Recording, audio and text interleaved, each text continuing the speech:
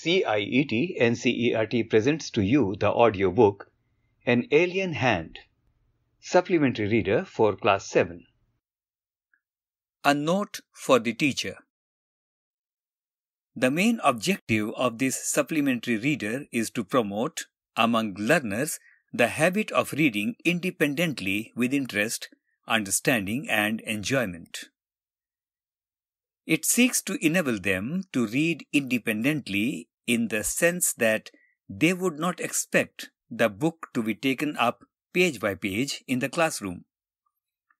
They would rather read it on their own and later share and confirm their responses and appreciation with the teacher and the peer group through discussions, questions, and, wherever possible, even role play. The book contains 10 pieces. Each piece has been divided into two or three manageable sections. Each section briefly summarized in point from without revealing crucial turns and twists of the storyline, thus sustaining readers' curiosity and interest. While reading comprehension check given at the end of sections is a recall of what has been read and understood so far. This format is being tried to make comprehension easier and concentration keener. Each piece is also followed by a set of questions as aids to understanding and, at many places, topics for discussion in groups. All questions should be attempted orally before well formulated answers are put down on paper. Discussion on related topics should be encouraged so that learners get an opportunity to go beyond the book and feel inspired to reach hitherto undiscovered vistas of knowledge and pleasure. The stories amply illustrated deal with themes of cooperation, compassion, respect and love for flora and fauna, sound discussion making, science fiction, peace and harmony. It is hoped that young readers will find the book enjoyable and rewarding and will feel motivated to read extensively on their own to become proficient readers in the years to come. Step by step guide for users to access e resources linked to QR codes. The coded box placed on the top corner of every chapter is called Quick Response, that is QR code. It will help you to access e-resources such as audios, videos, multimedia, texts, etc. related to themes given in the chapter. The first QR code is to access the complete e-textbook. The subsequent QR code will help you access the relevant e-resources linked to each chapter. This will help you enhance your learning in a joyful manner. Follow the steps given below and access the e-resources through your smartphone or tablet using ePathshala. Step 1. Install QR code scanner app from Play Store and open. Step 2. Get ready with QR code scanning window. Step 3. Place scanner above the QR code. Step 4. Select and click on the link. Step 5. Use available e-resources. For accessing the e-resources using ePathshala on desktop or laptop, follow the steps stated below. Go to http colon slash slash epathshala dot ncert dot org dot in slash topics dot php and enter the alphanumeric code given under the QR code. Download Diksha app from Google Play Store and follow the steps given below and access the e-resources through your smartphone or tablet using Diksha. Step 1. Select preferred language. Step 2. Choose your role student or teacher. Step 3. Grant access and allow app permissions. Step 4. Tap to scan the QR code.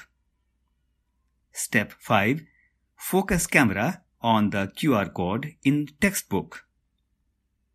Step 6. Click to play QR code specific e-resources. For accessing the e-resources using Diksha on desktop or laptop, follow the step stated below. Go to http colon double slash diksha dot gov dot in slash ncert slash get and enter the alphanumeric code given under the QR code. Chapter 1 The Tiny Teacher. Page number 1 Though very small, the ant is unbelievably intelligent and hardworking. Among the various kinds, the commonest ant is black or red. Ants live in comfortable homes called ant hills. Now, the chapter. Name the smallest insect you have ever seen and the wisest. Is it the fly? No, it isn't. Is it the mosquito? No, not the mosquito. Then it must be the worm. No, none of these. It is the ant, the commonest, the smallest, but the wisest insect. The story of an ant's life sounds almost untrue. But people have kept ants as pets and have watched their daily behavior closely. So, we know a number of facts about this tiny, hard-working and intelligent creature. An ant uses its feelers or antenna to talk to other ants by passing messages through them. Watch a row of ants moving up or down the wall. Each ant greets all the others coming from the opposite direction by touching their feelers. Page number 2 There are many kinds of ants. The commonest among them are the black or red ones. We have seen them since we were children, but haven't paid enough attention to them. Where do they live? in their comfortable homes called nests or ant hills. Each has hundreds of little rooms and passages. In some of these rooms, the queen ant lays eggs. Other are nurseries for the young ones called grubs. Workers have their reserve quarters. Page number 3 they spend most of their time searching for food. Some rooms serve as storehouses for the food. Soldiers have separate barracks. No worker has ever tried to live in a soldier's house. No soldier has ever gone out searching for food. No worker or soldier or cleaner has ever harmed a grub. So, you see, an ant's life is very peaceful.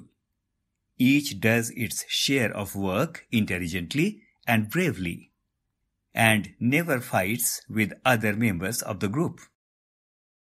Comprehension check. 1. The story of an ant's life sounds almost untrue. The italicized phrase means 1. Highly exaggerated. 2. Too remarkable to be true. 3. Not based on facts. 2. complete the following sentences. 1. An ant is the smallest. Blank. 2. We know a number of facts about an ant's life because blank. 3. In what ways is an ant's life peaceful? 1. The queen ant has a pair of wings which she casts off before she begins to lay eggs. 2. Eggs hatch and become grubs.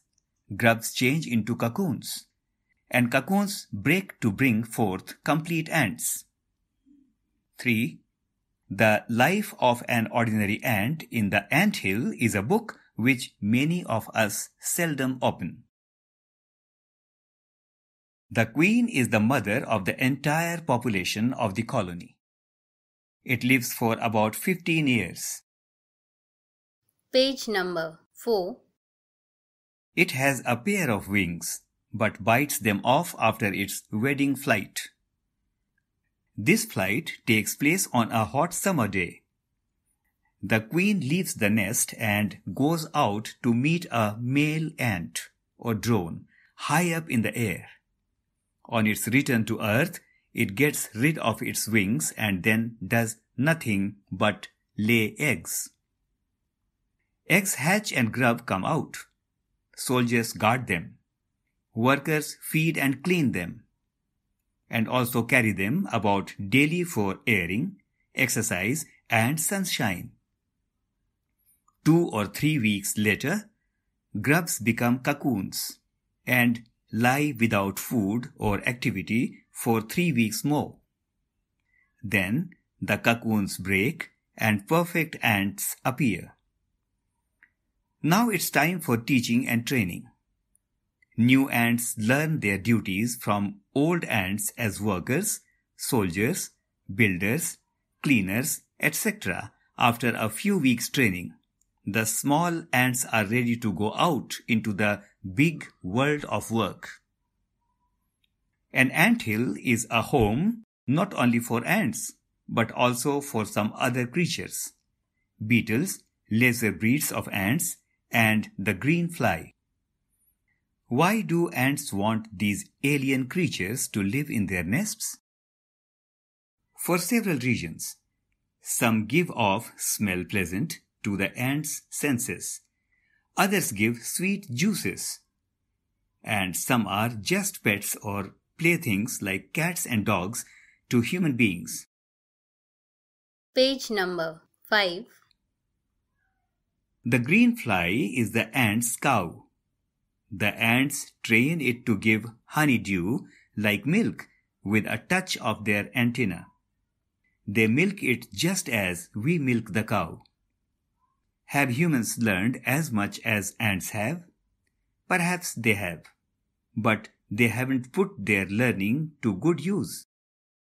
They may still learn a few things from this tiny teacher.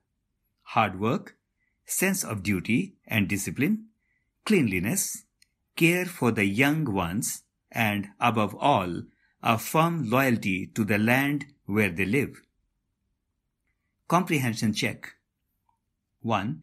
How long does it take for a grub to become a complete ant? 2. Why do the workers ant carry the grubs about? 3. What jobs are new ants trained for? 4. Name some other creatures that live in ant hills. 5.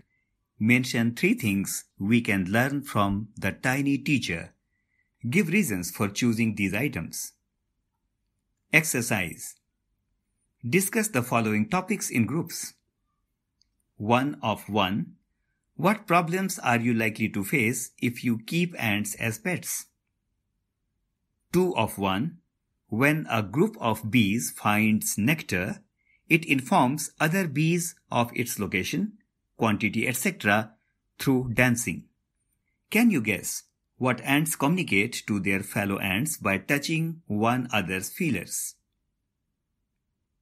Page number 6. 2.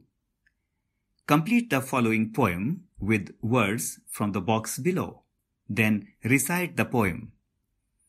Soldiers live in barracks and birds in blank. Much like a snake that rests in a blank, no horse is able to sleep except in a blank, and dog lives well, mind you, only in a blank. To say hi to an ant, if you will, you may have to climb on an blank. The words are hole, kennel, nests, ant hill, stable. A matter of tongue. 1. In humans, the tongue is the organ of taste. It also helps in chewing, swallowing, and speaking. 2. Some animals like frog and the chameleons use their tongue to catch prey. The chameleon's tongue is so long that it keeps it folded in the mouth, but it can flick it in and out at lightning speed. 3. The snake uses its tongue to smell. The reptile flicker its tongue in and out, each time carrying molecules from its surroundings to an organ called Jacobson's organ in the roof of its mouth. 4. The blue whale has the largest tongue, which can weigh as much as an elephant.